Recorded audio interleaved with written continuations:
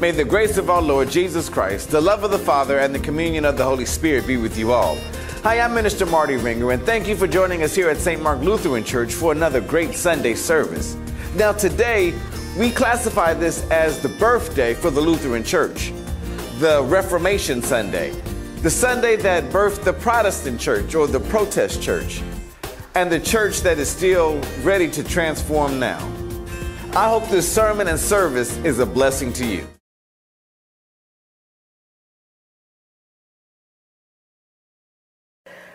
Reformation Sunday. For lifelong Lutherans, this day can give us a sense of pride in our denomination, but Reformation Sunday is not Lutheran Pride Day. It's certainly a time for us to celebrate and remember our church history, but it should also be a day that we re examine our faith, that we decide if we will be like Martin Luther and stand alone for the truth. Today, we celebrate the heart of our faith, the gospel, the good news that truly sets us free.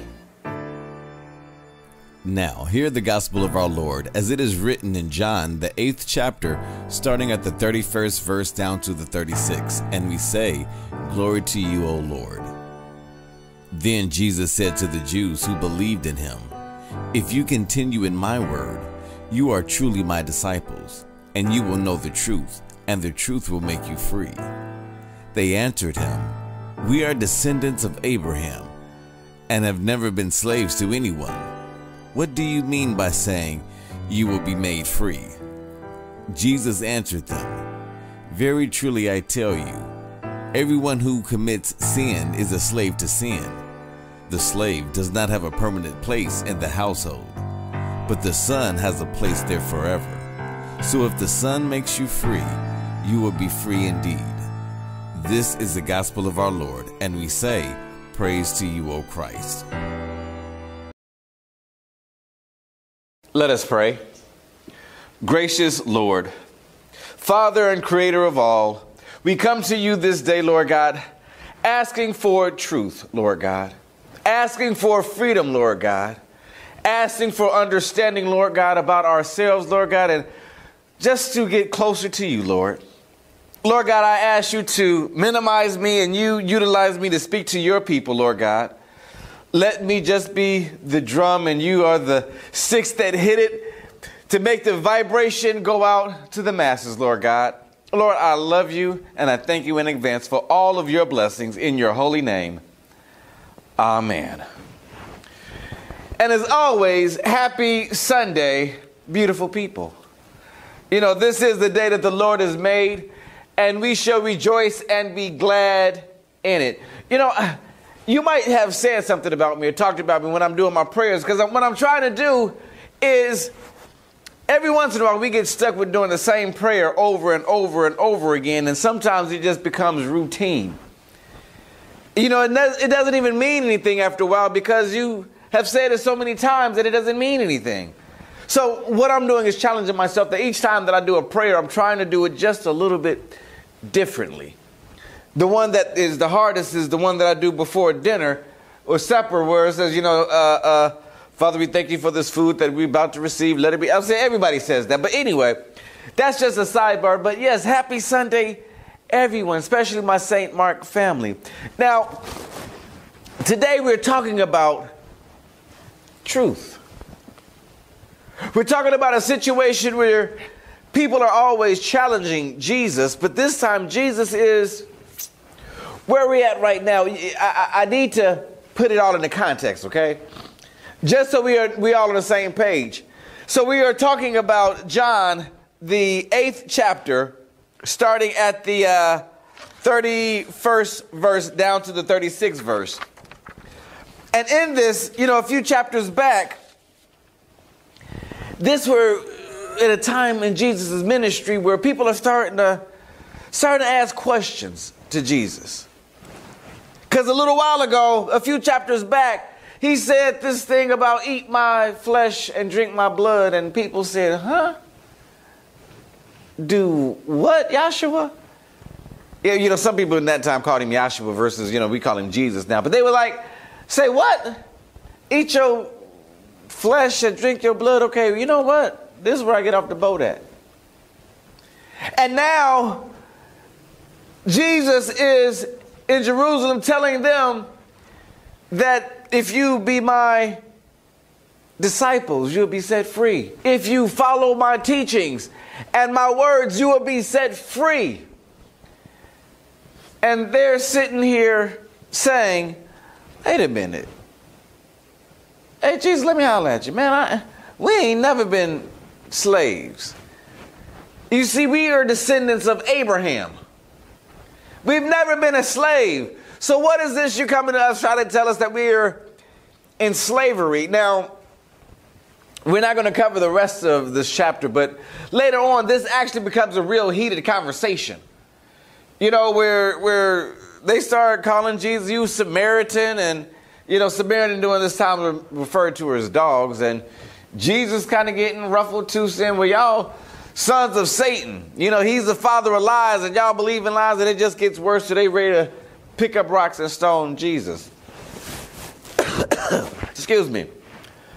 But where we're at right now, which is interesting, and I want to make sure that we are really pulled into the context, because right now, Jesus is trying to explain to them that they are slaves to sin.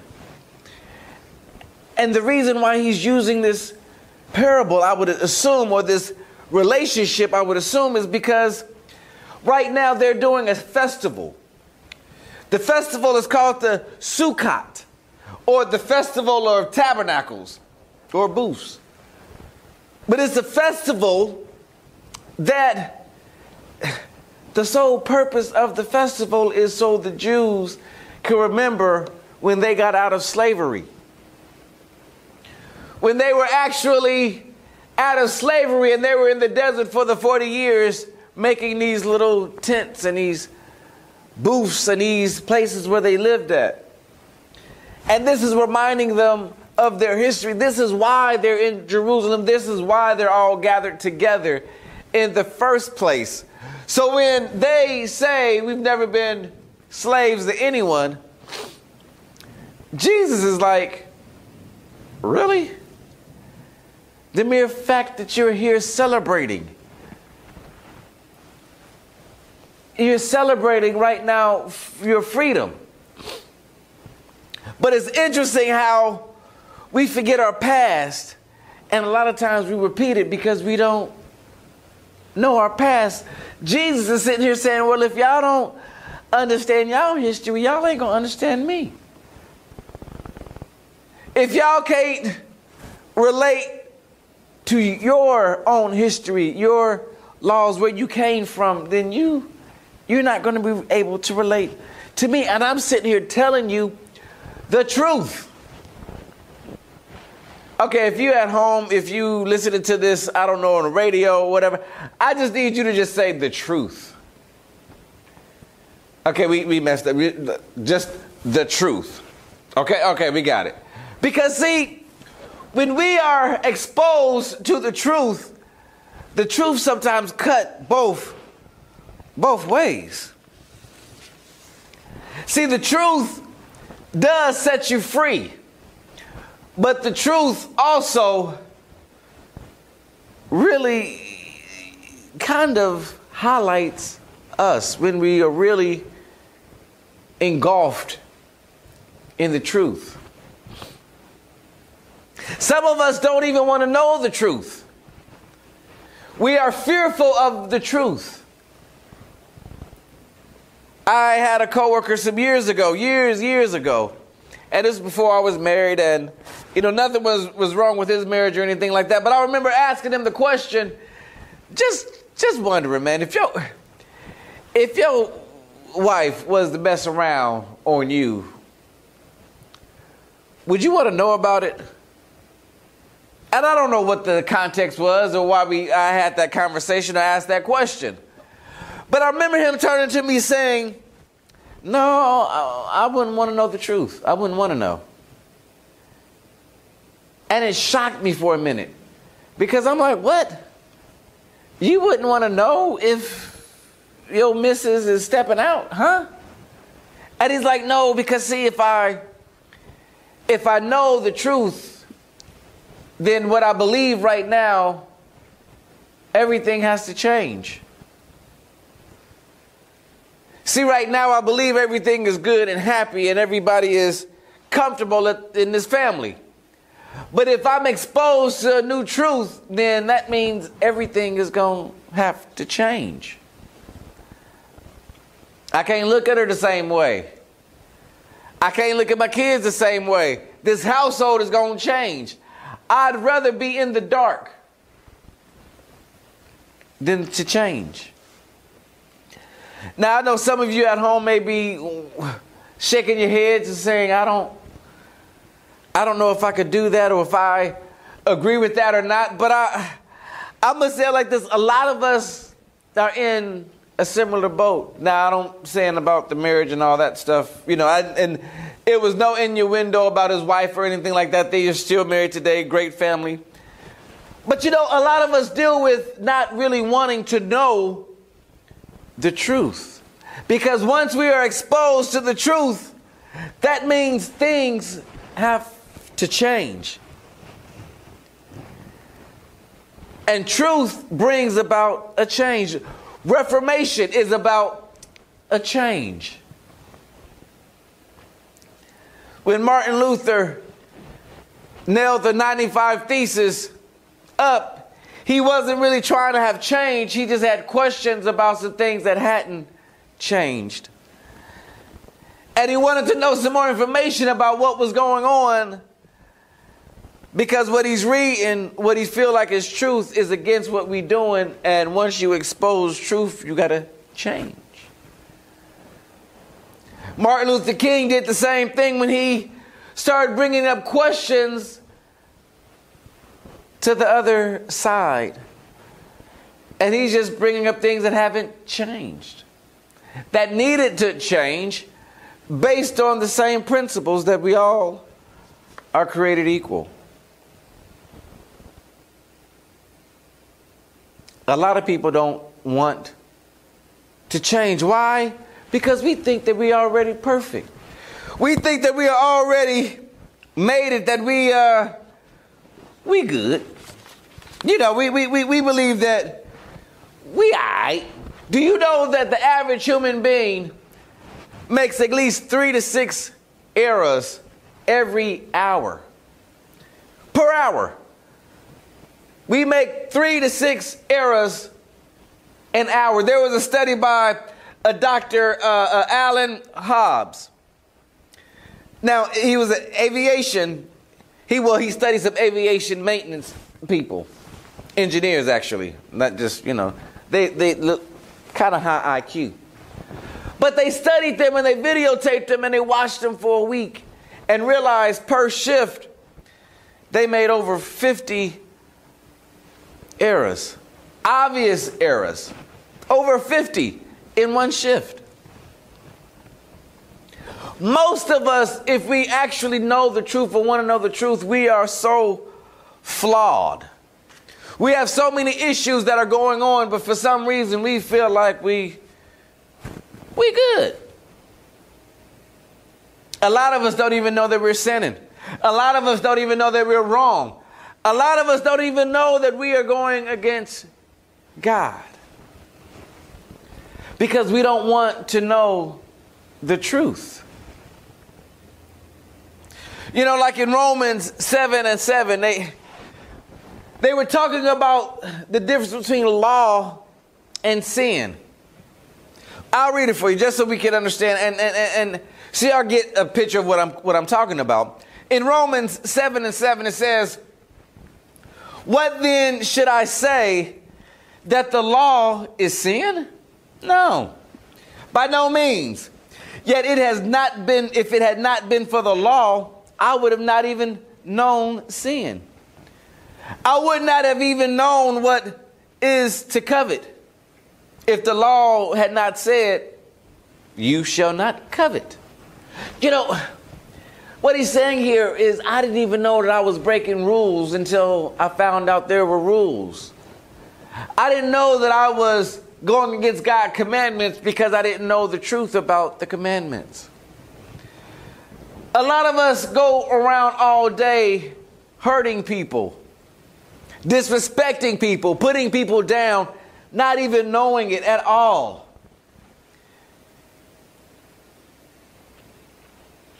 You have to find the truth about ourselves. And yes, here's the thing about the truth. Yes, the truth hurts. A lot of time the truth hurts deeply. When you find out that that loved one is no longer here. Or you hear about the diagnosis that didn't come out favorable.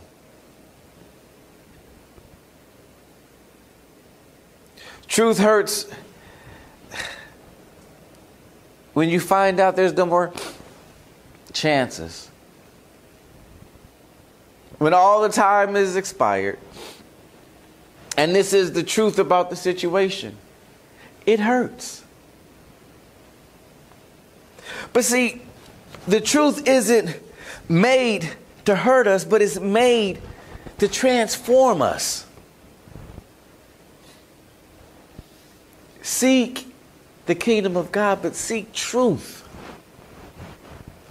No matter where it takes you and how much it may hurt, seek the truth. Because, like, sometimes the truth might be you just need to be quiet.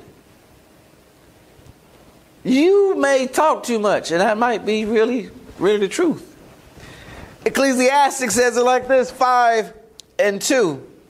Never be rushed with your mouth nor let your heart be quick to utter a word before God, for God is in heaven and you are upon earth. Therefore, let your words be few.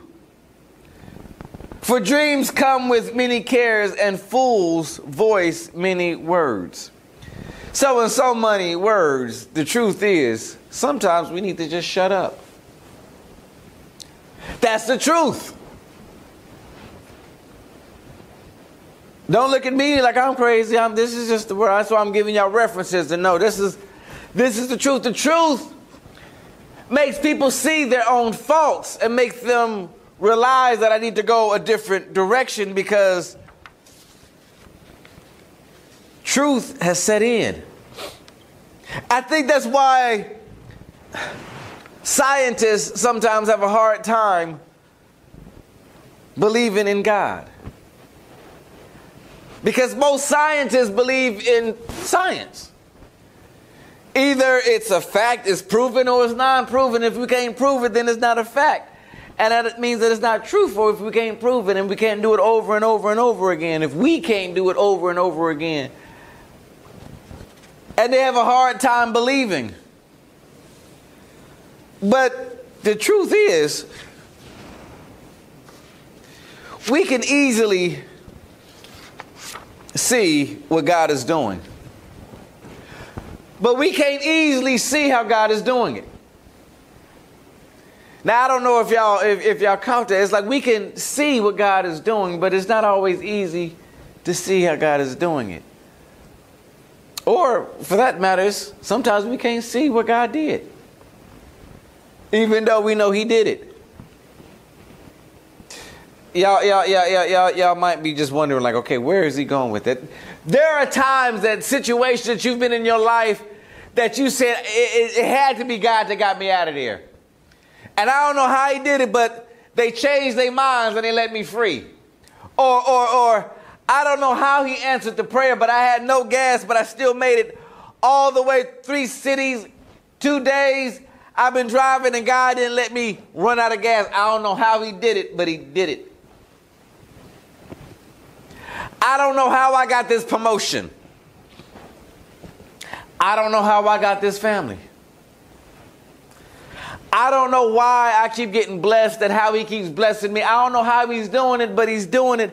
I know it's him. I know who's doing it. I don't know how he's doing it. I love to say this to scientists sometimes. It's like we could you could figure out how God made the world, the earth, with this atom and that atom fused together to make some new atom, no new particle, and The whole world come, came together from the Big Bang and he made first the, the ground and the grass and all this stuff. Then they can try to break down what was first and what was second. You can figure out how he did it, yes. But you can't figure out how he did it, no. Because it's like this, yes, you can, you probably can create dirt. There's a way that you can probably in the lab create dirt. In a lab, you can probably figure out ways to make rock. Oxygen, H2O, you know, we can, water, we can put these things together to make all of these different things like God. But God always says the same thing over and over and over again.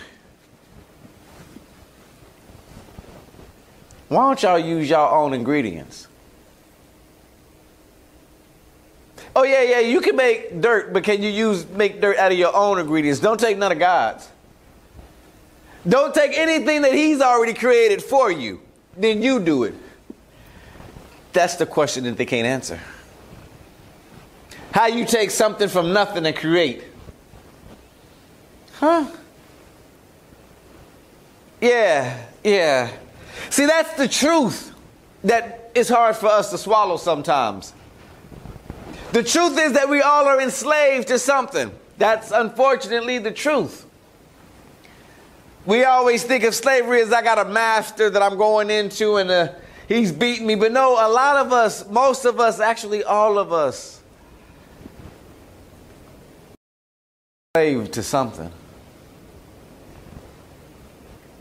If you don't know, I bet the people around you know what it is. And all of us, you know, we have our own different things, you know. Some people, I don't, I don't, I don't know. They, they, they're a slave to a sale. If they see 50% off, 75% off, they, they, they gonna be on that website. They gonna be on that store with a mask on and everything. But they, they ain't gonna miss out on 75% off. Or buy one get one free. What? I just know some people that's a slave to that. Some people are slaves to their own vices. Sometimes we call those addictions. But truth is, we're a slave to them. Some people are slaves to I don't know, sweets, pies, cakes, food. That uh, food ain't safe around them. They gonna get a piece of chicken regardless. People are addicted and they're enslaved to so many different things. People are slaves to sex, drugs, you name it, there is someone that is a slave to it. And during this Reformation Sunday, Reformation time, it's time to find the truth about ourselves, find the truth about our slavery, and reform ourselves. We form ourselves to anew. That's what God is asking us to do. That's what we're supposed to be doing. Find the truths in your life. And they some of them going to be hard. Some of them going to almost want to take you out. But that's what gives you the freedom.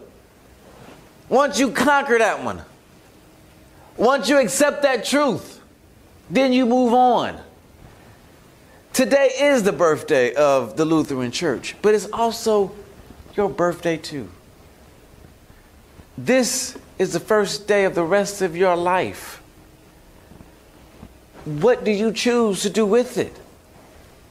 What do you choose to reform? What truths do you accept? And don't be don't be a conspiracy theorist, especially about your own life. Don't be a conspiracy theorist about your own truth and just will not accept the truth. Y'all, y'all know who I'm talking about, or the kind of people that I'm talking about that, regardless, they're not going to believe the truth. But the truth will set me free. The truth will set you free. The truth hurts, but it's meant to enlighten us and reform us. So, brothers and sisters, look for that truth. Look for that truth that Jesus is bringing to us. His grace is sufficient. His grace is all we need. His love is all we need. And that, that is truth. We are justified by God's grace through our faith. Let us pray. Gracious Father, Lord God, thank you for allowing the truth to be right around the corner each time, Lord God. Lord God, thank you for bringing truth to us, Lord God. But now I ask you to protect our hearts as we deal with the truth, Lord God. As we deal with the trials and tribulations that the truth brings, Lord. Lord God, help us to reform ourselves, Lord God, to turn from our ways and seek the truth in you. In your holy name, we all say, Amen. Martin Luther stood before the religious elite and declared his faith and God's truth with the words, Here I stand. I can do no other. So help me, God. Amen. So we stand here today before the throne of grace to pray for the world, the church, and all those in need. Let us pray. Here we stand, Lord the people you have redeemed, giving thanks to you, for you are good. Here we stand with those who reformed the church so long ago, and with those who are still reforming the church today. Lord, keep your church secure and steadfast in your word, that we may know the truth that sets us free. Lord, in your mercy, hear our prayers. Here we stand, Lord, thanking you for your grace. We thank you that you do not treat us as our sins deserve, that you do not repay us according to our wrongdoing. We thank you that true reformation is always your work and always being done in us out of your love for the whole world. We thank you that we have in Jesus all that we need for our salvation. Lord, in your mercy, hear our prayers. Here we stand, Lord, your servants, your followers, your children, knowing that we all can cry out for help in times of trouble. Know that you will deliver and free us from all that ails us. Here we stand, Lord, praying for those on our prayer list and those whose names we now name silently in our hearts. Lord, in your mercy, hear our prayers. Reform our lives, O God. Hear our prayers and renew us by your Spirit, that we may love and serve you and one another. This we pray through the grace of Jesus Christ, our Lord and Savior, who taught us to pray. Our Father, who art in heaven, hallowed be thy name. Thy kingdom come. Thy will be done on earth as it is in heaven. Give us this day our daily bread, and forgive us our trespasses, as we forgive those who trespass against us. And lead us not into temptation, but deliver us from evil. For thine is the kingdom, and the power, and the glory, forever and ever. Amen. Jesus challenged the rich man to sell what he had and to give it to the poor. He challenges us today to be generous in our giving because in God's mercy, we are already rich. If you have been blessed by the ministry, bless us in your donations and giving through your online banking, through Cash App at dollar sign St. Mark Lutheran, through Venmo at St. Mark Lutheran Church, or by sending a check or money order to our mailing address 4137 Washington Road, East Point, Georgia 30344. Amen. Since we are justified by God's grace through faith, let us confirm what we believe. I believe in God the Father Almighty, creator of heaven and earth. I believe in Jesus Christ, God's only Son, our Lord, who was conceived by the Holy Spirit, born of the Virgin Mary, suffered under Pontius Pilate, was crucified, died, and was buried. He descended to the dead. On the third day he rose again.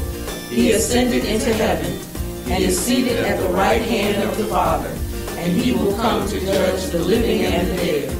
I believe in the Holy Spirit, the holy Christian church, the communion of saints, the forgiveness of sins, the resurrection of the body, and the life everlasting. Amen. May the Lord bless you and keep you. May the Lord's face shine upon you and be gracious to you. May the Lord look upon you with favor and grant you peace. In the name of the Father, the Son, and the Holy Spirit. Amen. This week, go out into the world and find truth. Search for the truth, but be prepared when you find what you're looking for. Go now in peace and serve the Lord.